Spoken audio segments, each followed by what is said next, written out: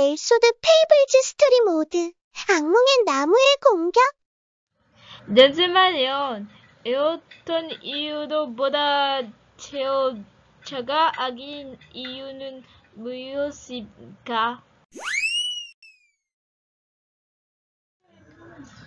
에스드 페이브즈 스토리 모드 악몽의 나무의 공격 안녕하세요. 나는 파우나. 무슨 일이 일어났는지 말씀드리겠어. 내 친구와 그녀의 오빠인 플로리안을 떠나기 전에 나는 에밀린이 엘소드와의 관계에 대해 이야기하는 것을 들었는데 그녀는 그가 절망적이며 그녀를 다시 원한다고 말했습니다. 어쨌든 난 그녀와 파비아는 상자에 딸기를 모으러 가꾸고 누리는 딸기로 둘러싸인 나무에 도달했습니다.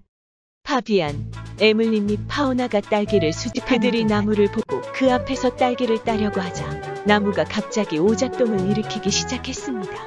그리고 갑자기 나무가 나뭇가지에 그들을 가두었습니다. 여왕님, 파비안과 그의 친구들은 어디에? 그들은 나무에 갇혔다. 나무에 갇혀? 예, 그들은 갇혀 있고 당신의 도움이 필요합니다. 그들을 도우려면 어떻게 해야 합니까? 내 앞을 가로막는 적과 싸울 무기가 없고, 무기로 싸울 줄도 모르고, 걱정하지 마세요. 무기 없이 싸울 필요는 없지만 펀치와 킥으로 적과 싸워보세요. 셋이서 누구야? 나는 프로스티네이고 내 옆에 있는 두 사람은 이것은 나의 새로운 친구 엘소드 및 아이샤입니다. 왜 그들이 당신의 새로운 친구입니까? 내 친구들이 그 악몽 같은 나무에 갇혔고 내가 그들을 찾고 싶어서 파비안의 사촌 엘소드가 그의 친구를 만나서 그들이 내 친구가 되고 싶냐고 물었고 그들은 동의했습니다. 친구들에게 인사를 해도 될까요? 네 사람은 서로를 알게 되자 그 악몽의 나무를 만나기로 했다. 불행히도 악몽의 나무는 그들을 잠들게 하고 악몽을 괜찮으세요, 합니다. 여러분? 우리의 영웅들이 난 나무와 괜찮아. 싸우러 올 구해주셔서 때까지 감사합니다. 진지하게 에소드. 너의 친구와 함께 처음에 왜 여기에?